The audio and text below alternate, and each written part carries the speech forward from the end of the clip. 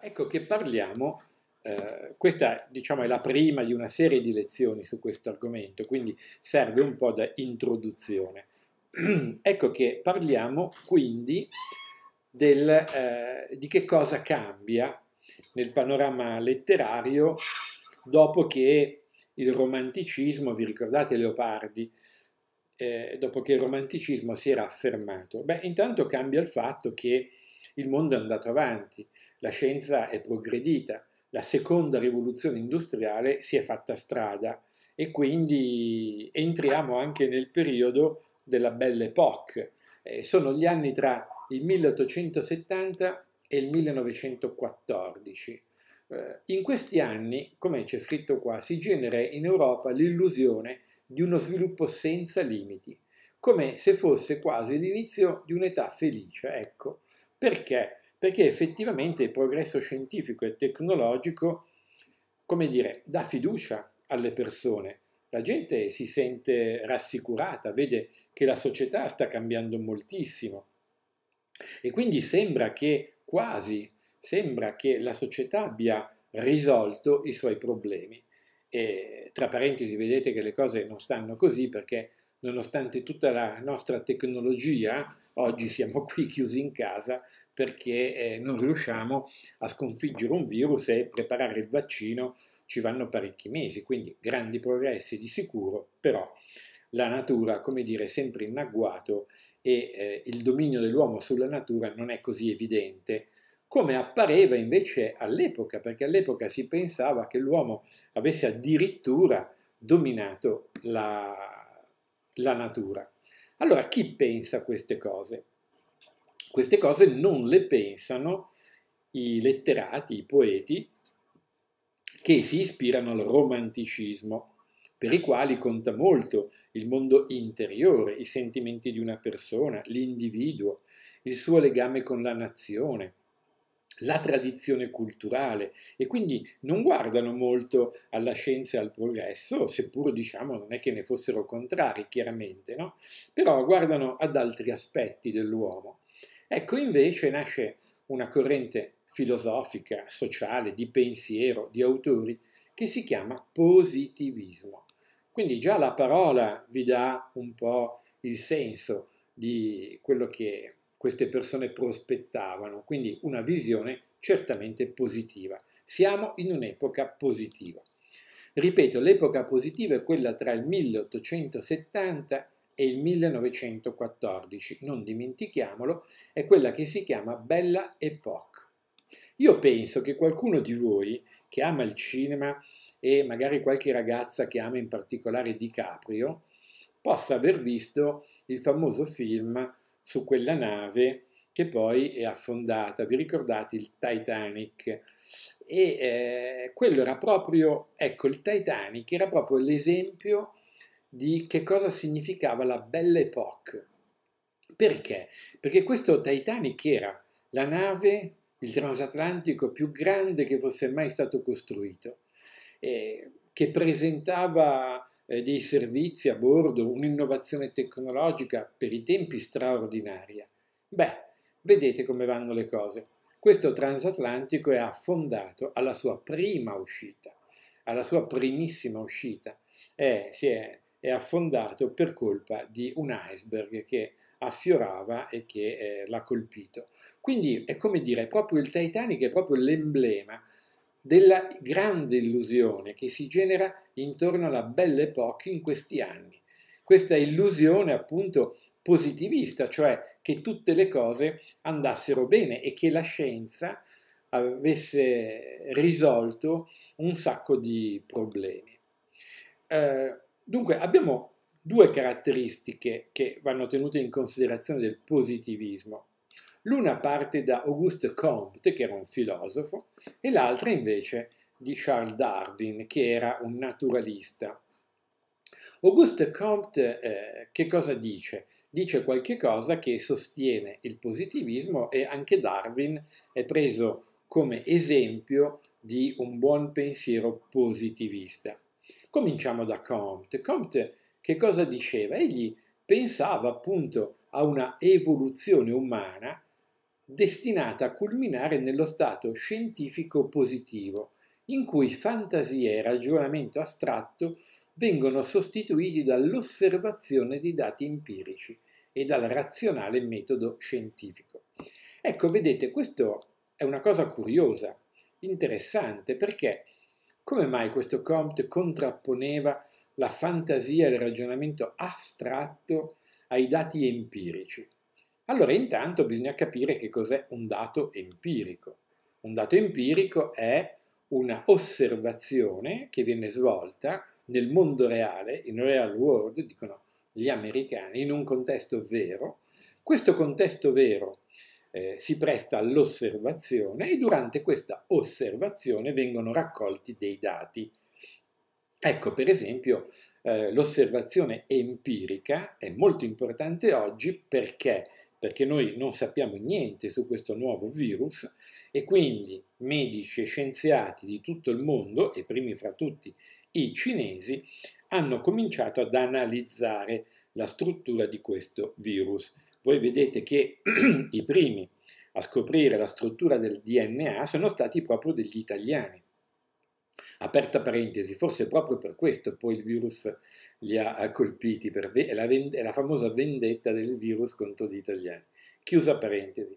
Però comunque sono stati proprio dei medici italiani dello Spallanzani di Roma con le loro indagini, col microscopio, con eh, i loro strumenti, a capire quale fosse la eh, struttura del DNA di questo virus. Però sono i medici cinesi quelli che hanno una grande esperienza nel capire come si cura e come si combatte questo virus. E infatti questi cinesi molto, gentilmente, oggi o, o, ieri mi sembra, forse ieri pomeriggio, sono arrivati eh, nove medici esperti, scienziati cinesi, con un bagaglio di materiale e attrezzature per aiutare i medici e gli scienziati italiani a combattere questo virus. E lo combattono proprio perché loro hanno ricavato dei dati empirici, cioè loro hanno avuto purtroppo migliaia di morti, hanno avuto decine di migliaia di contagiati e quindi eh, dalle osservazioni che hanno ricavato prima di noi ci possono passare e trasmettere queste osservazioni in modo tale che anche noi ci possiamo eh, agevolare nella cura. Quindi i, dire, i positivisti non dicevano mica delle scemenze eh, quando parlavano del fatto che eh, bisogna indagare, osservare, parlare dai dati, partire dai dati empirici e quindi applicare il razionale metodo scientifico. Che cos'è il metodo scientifico? Beh, il metodo scientifico è quello che formula delle ipotesi e queste ipotesi devono essere suffragate dai dati. Io non posso dire questo virus, eh, secondo me, dato il colore che ha così, è venuto fuori dagli spinaci. Cioè, non c'è nessuna base per dire una cosa del genere, lo dovrei dimostrare.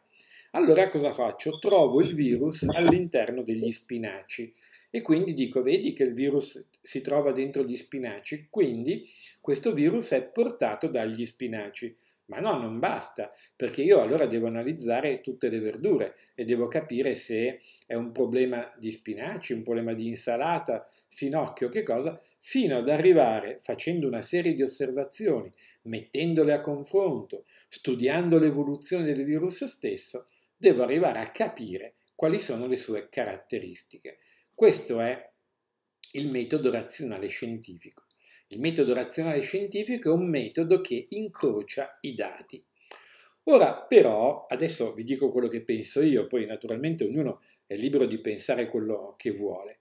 Ora però, secondo me, il positivismo sbagliava a dire che eh, la fantasia e il ragionamento astratto non avevano più ragione di esistere, o perlomeno dovevano essere messi un po' in disparte. Ecco. Eh, perché? Perché, vedete, anche quando noi cerchiamo dei dati empirici, quando ci occupiamo di osservazioni, c'è sempre l'intuito, la capacità, la creatività, la capacità di ragionare anche in modo astratto, fa sì che le nostre capacità intellettive vengano spinte avanti. Se noi siamo troppo legati alla realtà, siamo troppo legati ai dati empirici, non riusciamo a vedere la realtà con questo, con questo distacco, cioè col distacco eh, con cui sarebbe necessario vederla. Però, insomma, i positivisti, spero che abbiate capito, pensavano questo, cioè erano molto legati alla scienza. Naturalmente loro dicevano che la scienza è una forma di conoscenza che però è l'unica, eccola qua, l'unica a essere di tipo scientifico, oggettiva, verificabile. Vanno escluse pertanto forme di conoscenza di carattere spirituale, metafisico, idealistico e anche religioso. Questa affermazione è interessante perché certo noi non possiamo indagare la realtà utilizzando i canoni di eh, principi, per esempio, religiosi o metafisici.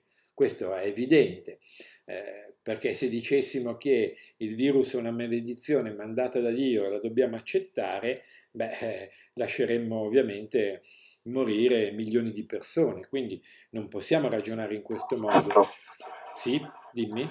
Eh, c'è anche chi dice, cioè il contrario, il virus sarebbe una punizione divina, un castigo divino, e dobbiamo lo stesso accettarlo, cioè cambia gli addendi ma il risultato no. Eh certo, esatto. Ora la scienza non accetta questi tipi di ragionamento e questo è un bene per il positivismo perché pensate anche a tutta la questione delle vaccinazioni eccetera, no? Grazie a questo noi oggi abbiamo debellato intere malattie ve ne avevo parlato, io mi ricordo che quando ero bambino, per esempio a scuola c'erano molti bambini poliomelitici che avevano le braccia eh, rachitiche, le, mo, molti mendicanti anche per strada che avevano le gambette corte perché era la poliomelite che li aveva colpiti.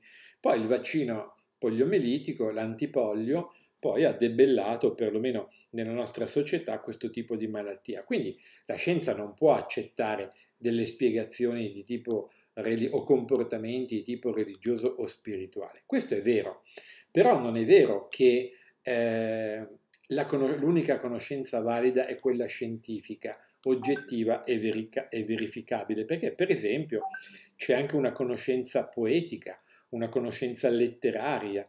Voi pensate che se per conoscere e avere idea del comportamento di altri popoli, altre culture, così noi non è che possiamo prendere l'aeroplano e andare a studiare tutti i paesi del mondo per cercare di capire qual è la loro cultura. Normalmente leggiamo, leggiamo di romanzi, leggiamo di racconti, ecco, poi da questi romanzi, da questi racconti ci vengono anche delle intuizioni. Queste intuizioni ci fanno capire le persone come vivono, quali sono le differenze, i loro sentimenti. E poi proprio i sentimenti giocano un grosso ruolo nella vita di tutti i giorni. Quindi, come dire, a mio parere i positivisti erano un po' troppo trancianti, diciamo, però avevano ragione nel dire che eh, il mondo reale deve essere indagato e deve essere, loro dicono, scientificamente conoscibile. Perfetto, però voi dovete tenere conto che la conoscenza del mondo è discussa, eh, non trova d'accordo spesso eh, due scienziati diversi. Per esempio, c'è stata una grande polemica proprio in quegli anni, all'inizio del Novecento, tra due grandi teorie scientifiche, la teoria relativistica, anzi direi tre grandi teorie scientifiche, la teoria fisica newtoniana, quindi della fisica classica, la teoria eh, della relatività ristretta e poi generale di Einstein e poi la fisica quantistica. Ora pensate che queste tre teorie erano eh, in contraddizione. Poi oggi si sono superati molti disaccordi, ci sono tante cose che eh, sono state eh, esaminate, discusse, quindi c'è un sostanziale accordo tra i fisici sulla valutazione e il posto che occupano queste teorie. Però, per esempio, all'epoca ci sono state discussioni veramente importanti. Einstein ha discusso con Planck, si sono scambiati delle lettere. Insomma, eh, voglio dire, questo mondo reale è sicuramente conoscibile da un punto di vista scientifico, ma non è che la teoria scientifica eh, possa essere così adottata su due piedi e trovare d'accordo tutto il mondo eh, scientifico. E, ehm, e, questo, diciamo, Auguste Comte, ecco, questo per dirvi l'importanza del positivismo. Poi c'è invece un po' più difficile da capire, almeno lo vedo io che eh, gli studenti hanno più difficoltà a capire invece la posizione di Darwin e quindi cercherò di spiegarvela con parole semplici e in modo chiaro. Se non capite mi interrompete e mi ponete delle domande. Allora, l'evoluzionismo di Darwin. Allora, intanto questo titolo è sbagliato perché la dottrina di Darwin non è una dottrina evoluzionista, perché eh, la teoria eh, evoluzionista eh, sembra che eh, dà l'idea che mo- nel mondo ci sia una evoluzione eh, positiva, appunto, cioè un passaggio da una specie all'altra, una sorta di miglioramento. È vero che ci sono dei miglioramenti, ma questi miglioramenti derivano dall'adattamento della specie all'ambiente. Anche il termine... Una selezione naturale, quindi. Esatto, perché anche il termine adattamento è un po' non è del tutto corretto perché come scriveva Engels, Friedrich Engels, che era un uomo molto attento allo sviluppo scientifico dell'epoca, scriveva questo, diceva voi potete vivere mille anni in una foresta, ma non, si, non vi spunterà mai la coda per aggrapparvi a un ramo. Cioè l'evoluzione della specie non consiste nel fatto che per stare meglio in un ambiente io sviluppo delle caratteristiche che mi fanno stare bene. Allora, adesso vi spiego. Abbiamo detto che l'evoluzionismo non è un termine proprio preciso perché sembra che indichi una costante, un costante miglioramento della specie, così come, come un meccanismo automatico. E neanche il termine adattamento della specie va molto bene. Ecco. Eh, allora diciamo, ma che cosa ha scoperto Darwin, Charles Darwin? Charles Darwin ha scoperto un'altra cosa, ha scoperto la selezione naturale. Ricordatevi questo, la selezione naturale. E la selezione naturale che qui non so perché non viene neanche menzionata, è veramente incredibile questa cosa, perché è proprio sbagliata questa dispensa, non viene neanche menzionato il termine selezione naturale, però la selezione naturale che cos'è? Allora, partiamo dall'inizio. Esistevano, esistono, due teorie. Una teoria è quella appunto eh, evoluzionista, che proponeva un grande studioso che si chiamava Lamarck. Lamarck che cosa diceva? Lamarck diceva che alle giraffe sono, eh, le giraffe hanno assunto questo collo lungo per potersi cibare delle foglie delle piante che in Africa hanno un fusto molto alto e quindi questo nutrimento, le foglie, si trovano a una certa altezza. Darwin invece, secondo la teoria della selezione naturale, che cosa diciamo noi?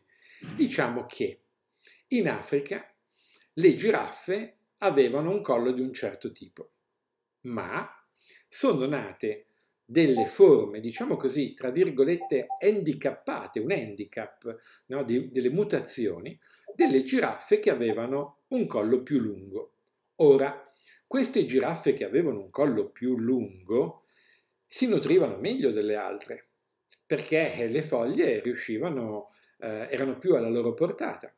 E quindi che cosa è successo? Con l'andare del tempo, del tempo, non dei giorni, non degli anni, non dei decenni, ma dei secoli, dei millenni, con l'andare del tempo, poco per volta si sono procreate di più le giraffe col collo lungo. Perché? Perché le giraffe col collo lungo erano meglio nutrite, erano più in salute, vivevano più a lungo perché riuscivano a mangiare di più e meglio e quindi facevano più figli. Mentre poco per volta le giraffe con il collo corto tendevano a sparire perché mangiavano, certo, riuscivano a procurarsi il cibo, però non era magari di così grande qualità, non era magari di così grande quantità, quindi il loro sviluppo alla fine non era così sano, non riuscivano magari a mettere al mondo tanti figli, fino a che poco per volta le giraffe con il collo lungo hanno preso il sopravvento. Quindi vedete che se avete capito questa spiegazione, eh, questa cosiddetta evoluzione è il frutto di cambiamenti casuali, cioè casualmente nasce un individuo che per alcune caratteristiche si trova meglio di altri. E, per esempio è stata osservata una cosa molto curiosa a Londra. Londra in quegli anni era una città, eh, no aspettate, forse mi sembra Manchester, più Manchester, dovrei verificare, ma mi sembra più Manchester, cioè eh, più, più, industriale ancora. Comunque in una, in una di queste due città eh, si è verificato che lo sviluppo industriale con questo carbone, eh, questa produzione di, di fumo, di inquinamento, aveva annerito gli alberi. Ora, sapete, le betulle hanno la corteccia chiara e quindi eh, su questa corteccia chiara si posavano delle farfalle bianche. E queste farfalle bianche però, nel momento in cui la corteccia della betulla cominciava a scurirsi, eh, queste farfalle eh, poverine erano in grossa difficoltà perché? Perché gli uccelli le acchiappavano subito. Voi vi immaginate una farfalla bianca su una corteccia scura, eh, si vede parecchio. Prima no, prima erano più protette, quindi c'erano tante farfalle. Allora che cos'è successo? È successo ovviamente che queste farfalle hanno cominciato a diminuire. Le farfalle bianche tendevano a scomparire. Siccome però tra questa popolazione di farfalle ogni tanto nasceva qualche farfalla nera, ecco che questa aveva più possibilità di sopravvivere, cioè gli uccelli la vedevano meno. Farfalla scura, su tronco scuro era più difficile catturarla. Quindi che cos'è successo? Beh, è successo che nel giro di un po' di tempo le farfalle bianche sono sparite e al loro posto le farfalle nere invece sono aumentate. Ecco quello che Darwin chiama la selezione naturale, cioè non c'è una volontà attraverso la quale la giraffa si allunga da sé il collo o diciamo la natura allunga il collo della giraffa oppure le farfalle da bianche diventano scure o da se stessa la farfalla decide di diventare scura. È un Sopravvive, caso. È un caso. Eh, una parte della specie. Sopravvive una parte della specie, quella che è più adatta a sopravvivere in circostanze che cambiano. E se non si pro, pro, eh, diciamo, verificano dei mutamenti, eh, le farfalle muoiono, basta, la specie si estingue. Se non ci sono mutamenti e, di, e del resto eh, ci sono delle specie che si sono estinte. Voi se avete letto, visto, sfogliato illustrazioni, anche quando eravate elementari, alle medie, no? di libri così, avete visto quante il specie. dodo, queste cose qui. Eh, certo. Adesso il koala. Il Però quella è koala, un'altra storia. Eh, certo. Sono deste... Alcune per colpa nostra, eh? alcune naturalmente perché poi l'intervento dell'uomo è pesante. Perché è pesante l'intervento dell'uomo? Perché l'intervento dell'uomo è rapido, è molto rapido e, e quindi la natura non fa in tempo ad assorbire quello che noi combiniamo. Chi lo sa, magari se noi eh, pro- avessimo prodotto questo inquinamento non in 100 anni, ma in 2000 anni, magari la natura avrebbe avuto il tempo, attraverso la selezione naturale, di cambiare e di modificarsi, ma noi abbiamo, stiamo distruggendo la natura a una velocità incredibile, perché eh, le industrie, la rivoluzione, la rivoluzione industriale della metà del Settecento, quindi mettiamo anche tre secoli, tre secoli sono stati sufficienti per modificare proprio l'equilibrio biologico e l'ecosistema terrestre. No? E quindi la natura ha difficoltà, ecco perché l'uomo deve intervenire coscientemente su un piano politico, su un piano scientifico per fermare questa distruzione della natura. Mm? Quindi cosa abbiamo, di cosa abbiamo parlato adesso? Abbiamo parlato del positivismo e, del, e, e, e della selezione naturale e abbiamo parlato del fatto che il positivismo si contrapponeva al romanticismo fondato sul sentimento, sul valore della persona, eh, sul pensiero astratto, eh, sulla creatività, eccetera, che invece i positivisti eh, non, non apprezzavano tanto, diciamo così. Vi devo dire ancora una cosa, che è l'ultima, vediamo qua se ne parla se ne parla, non mi ricordo, eccolo qua, ne parla, eccolo qua. Fotografia cinema. parliamo di questo perché l'Ottocento è anche il secolo dell'invenzione della fotografia. Louis Daguerre nel 1837 realizza un'immagine fotografica stabile in un'unica copia positiva non riproducibile. Eccolo qua, vedete le prime fotografie. Questa è del 1892, guardate. Interessante. Questi sono dei minatori di, del, di fine 800. Allora, la fotografia è pazzesco perché la fotografia si dice subito che è il modo di scrivere con la luce, perché è la luce che viene usata per creare le fotografie. La fotografia produce una rivoluzione, non so se lo sapete, ma per esempio, prima di tutto, la fotografia rimette in causa completamente la pittura. Eh, rendetevi conto, per fare il ritratto di una persona, un pittore ci metteva almeno una giornata. Poi doveva spendere soldi per i suoi colori, dovevano essere dei colori a olio, ehm, a olio di lino. Questi colori costano, costano parecchio, informatevi da un colorificio. Una volta che ci passate e vedrete le tele, le tele costano, i pennelli, i, i pennelli che sono fatti di eh, setole particolari, eh, naturalmente sono cari questi pennelli di qualità, eh, più c'è il lavoro dell'artista, più la sua bottega, il garzone, eh, l'assistente, insomma, eh, questi ritratti, certo erano, erano, molto belli, erano il frutto della creatività umana, della capacità artistica dell'uomo, però erano anche costosi. La fotografia, tu arrivi, inquadri, zac, scatti, ne scatti un'altra, cambi la posizione, cioè tu nel giro di poco tempo puoi avere l'equivalente di 4 o 5 di quei quadri all'epoca.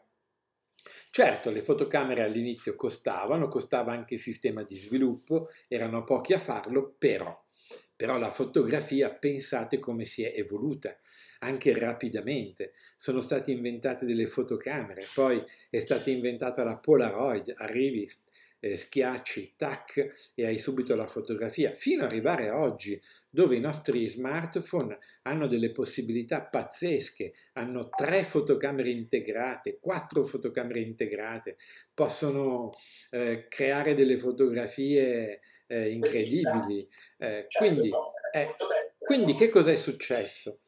È successo che tutto questo ha messo in crisi la pittura.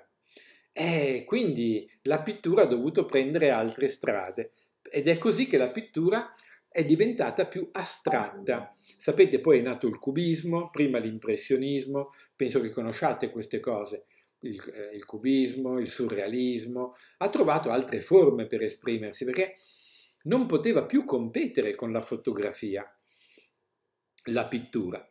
E ehm, quindi che cosa è successo? Che gli intellettuali, gli scrittori dell'epoca sono rimasti affascinati dalla macchina fotografica e eh, fino al punto che un tizio, un grande scrittore francese che si chiamava Émile Zola, ha dichiarato che eh, lui voleva scrivere dei romanzi e dei racconti come se questi romanzi e questi racconti fossero delle fotografie. Questo ha detto Émile Zola.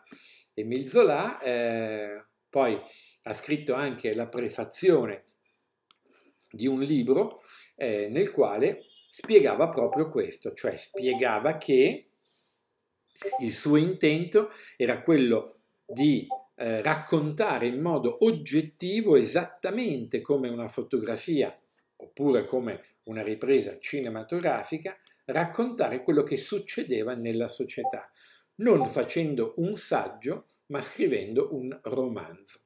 Ecco però eh, di Emile Zola noi parleremo alla prossima lezione. Per questo momento è tutto, abbiamo parlato del positivismo, abbiamo parlato di Darwin, abbiamo parlato di come è nata la filosofia positivista della Belle Époque e abbiamo concluso accennando alla fotografia e a come Zola in Francia inventerà un nuovo genere letterario che si chiamerà naturalismo e in Italia invece prenderà il nome di verismo. E questo è tutto per la lezione di oggi.